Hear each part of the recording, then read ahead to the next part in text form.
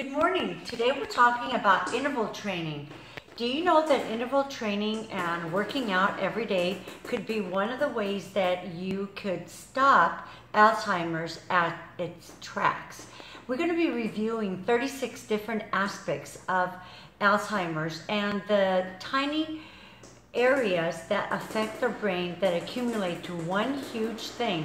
If you have the gene for Alzheimer's, then you have 66% chance of getting Alzheimer's. But if you change your lifestyle today, guess what? You too can ward off that disease process. Today we're going to do interval training. Take, uh, these are one pound weights, which is hardly anything at all. But stepping up and down the step with the weights at hand is going to increase your heart rate. So here we go, up and down. And we're going to do eight on the right and eight on the left. Now, if you find that this is too easy, you can add a hop. Hop. Hop. So four, five, six, seven, eight. Switch left. Left. Add a hop. Three, four, five, six, seven, eight. Let's say you don't have a step well, like a step stepper. Let's say all you have is a step going in and out of your house.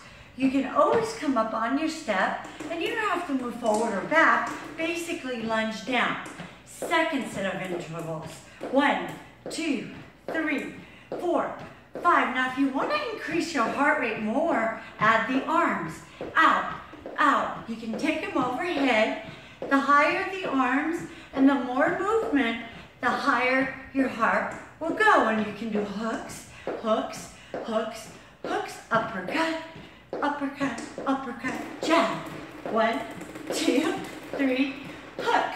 Four, three, two, uppercut. Four, three, two, and one. Okay. Now you say to yourself, I don't even have a step anywhere. So, you can take some, I'm out of breath. Notice that? Because that's hard. So now you're going to take some handheld weights and you can jump into place. One, two, three, five, six, seven, nine, ten. Do 50 of those and do five sets. You can do it all throughout the day. Now, let's say that you don't have any handheld weights. It's okay because I have you covered. Watch this. You can do it just like that.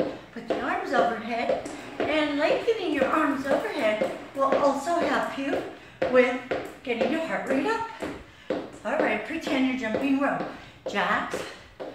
Now you're thinking to yourself, Hatty, I can't do all that. And I say, why? And you say, well, my knees hurt.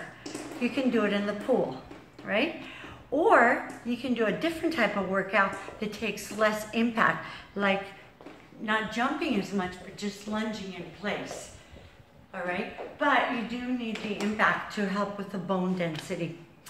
Uh, another thing that might be happening is that you're saying to yourself, well, when I jump, I lose urine.